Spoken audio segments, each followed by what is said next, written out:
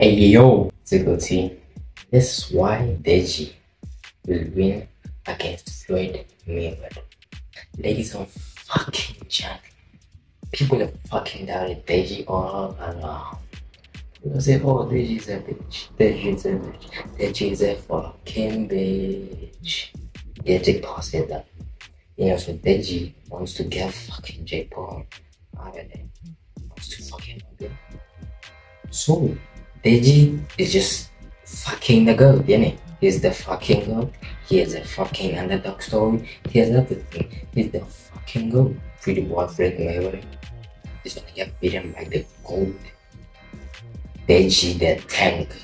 Yeah? He's gonna fucking mold through his ass like a fucking tank. So that's the first reason. The second reason is like Floyd can knock him out. Check the fucking contract. Floyd signed a contract that he can knock out fucking Deji. That's fucking.